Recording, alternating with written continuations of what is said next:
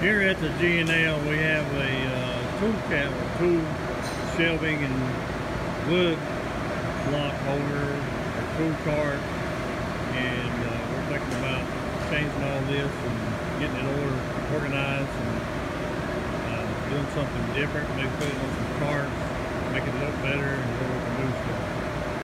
This is the G&L, this is the after uh, rearrangements of our work center on the uh, tools.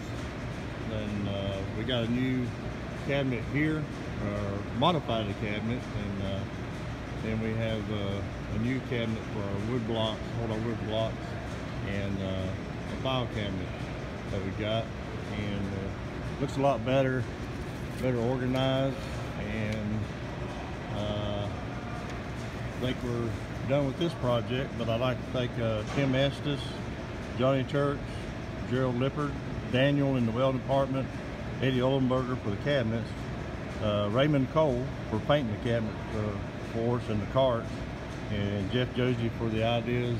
Uh, he actually shares the backside of this, so we uh, got two people using that one. So, and then Buddy Deal for the file cabinet. And I hope I didn't leave anybody out. If I did, I'm sorry. Uh, it's too lean.